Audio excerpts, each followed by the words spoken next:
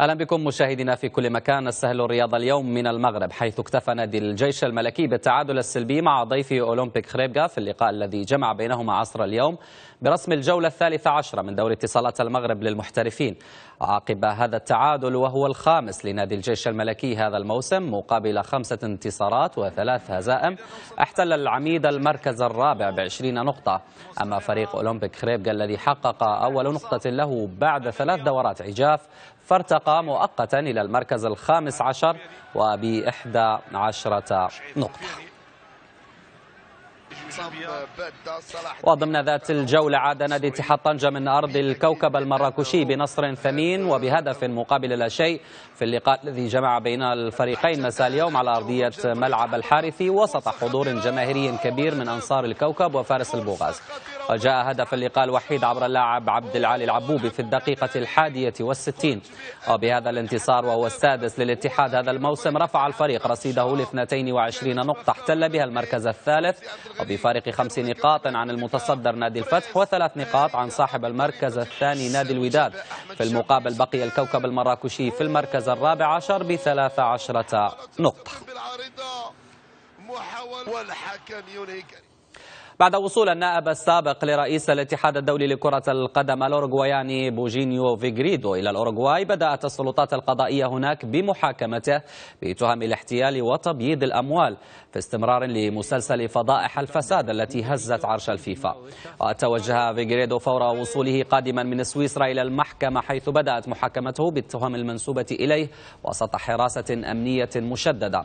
وكانت طائرة فيغريدو قد تأخرت قليلا قبل أن تصل إلى العاصمة مونتيفيديو فيديو ويواجه هذا الأخير عقوبة حبسية قد تصل لخمسة عشر عاما مع إمكانية تنفيذ العقوبة على شكل إقامة جبرية في منزله.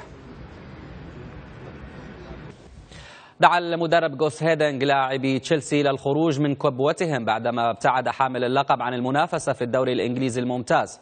وسيتولى هيدنج المسؤولية على رأس الجهاز الفني للنادي اللندني اعتبارا من مباراة الفريق على أرضه أمام نادي واتفورد يوم غد. بعد عودته إلى ستانفورد بريدج لفترة ثانية كمدرب مؤقت عقب إقالة البرتغالي جوزيه مورينيو. ويحتل تشيلسي المركز الخامس عشر في الترتيب متأخرا بفارق 11 نقطة وراء توتنهام الرابع بعدما خسر أكثر من نصف عدد من مبارياته منذ بداية الموسم بسبب ابتعاد عدد من نجومه عن مستواهم الطبيعي كهازارد وكوستا وفابريغاس. ينتظر عشاق نادي مونبولييه الفرنسي يوم الأحد المقبل بفارغ الصبر للإعلان عن خليفة المدرب المقال رولان كوربيس أملا في خروج الفريق من أسفل الترتيب العام. كان نادي مونبولييه قد أعلن قبل يومين عن إقالة كوربيس الذي استلم الإشراف على النادي شهر دجنبر الماضي وذلك للمرة الثانية بعد العامين اللذين أمضاهما مع الفريق بين 2007 و2009 وجاءت الإقالة بعد فشل الفريق في تحقيق الفوز في مبارياته السبع الأخيرة ما جعله مهددا بالهبوط إلى الدرجة الثانية إذ يقبع حاليا في المركز الخامس عشر وبفارق ثلاث نقاط فقط عن منطقة الخطر. تغلب منتخب الهند لكرة القدم على سريلانكا بهدفين مقابل لا شيء في اللقاء الذي جمع بينهما اليوم ضمن منافسات المجموعة الأولى من الكأس الذهبية لدول جنوب آسيا. تقدم المنتخب الهندي مستضيف البطولة في الدقيقة الحادية والخمسين بهدف حمل إمضاء اللاعب روبن سينك قبل أن يعود ذات اللاعب في الدقيقة الثالثة والسبعين ويتمكن من تسجيل الهدف الثاني لمنتخب بلاده. تصدر المنتخب الهندي المجموعة الأولى بثلاث نقاط فيما بقي منتخب سريلانكا في المركز الثاني وبنفس الرصيد.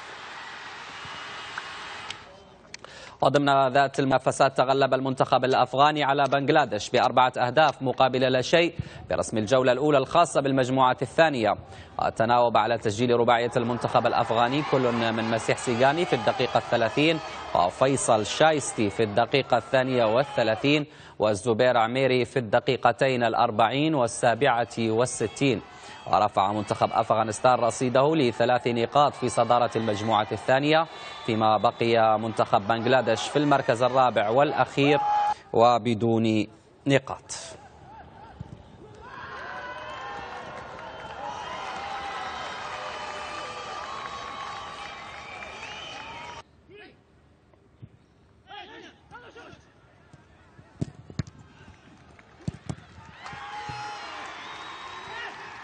أعلن السويدي روبن سولدرلينغ لاعب كرة المضرب اعتزاله اللعب بعد معاناة طويلة مع المرض ولم يشارك وصيف بطل رولان جاروس مرتين والبالغ من العمر 31 عاما في أي بطولة منذ عام 2011 بسبب فيروس تسبب في استنزاف طاقته ونشاطه. وقال سولدرلينغ في حسابه على موقع تويتر أشكركم جميعا على مشاعركم الطيبة. أشعر بحزن بالغ لأنني لن أشارك في بطولات تنس المحترفين مرة ثانية ولكن بعد قراءة كل الرسائل أشعر أنني في حالة أفضل يضيف النجم السويدي. وقضى سولدرلينغ عشرة أعوام في عالم كرة المضرب وارتقى للمركز الرابع عالميا في التصنيف. وفي 2009 أنهى اللاعب السويدي هيمنة الماتادور الإسباني رافائيل نادال على بطولة فرنسا المفتوحة بانتصار مبهر في الدور قبل النهائي قبل أن يخسر في المباراة النهائية أمام السويسري روجر فيدرر قررت الرابطة الوطنية لكرة السلة NBA ونجومها الانضمام لحملة لمكافحة العنف المسلح الذي تنام مؤخرا بالعديد من أجزاء الولايات المتحدة. وذكرت يومية نيويورك تايمز أن الرابطة أعربت عن قلقها بشأن أعداد القتلى في حوادث إطلاق النار عبر البلاد وانضمت إلى النقاش الدائري حول مراقبة حيازة الأسلحة النارية مبرزة أنها ستقوم بحملة إشارية وترويجية غير مسبوقة بشراكة مع المدافعين عن تشديد المراقبة على امتلاك السلاح الناري. ودخل نجوم الدوري الأمريكي لكرة السلة في حملة قوية لمكافحة العنف المسلح من خلال الاعتماد على سمعة رياضيها. وتشير التقديرات إلى أن عدد الأسلحة النارية المتداولة بالولايات المتحدة يمثل ثلث الأسلحة في العالم حيث يصل إلى 300 مليون قطعة سلاح لحوالي 318 مليون نسمة أي بمعدل بندقية واحدة للفرد الواحد.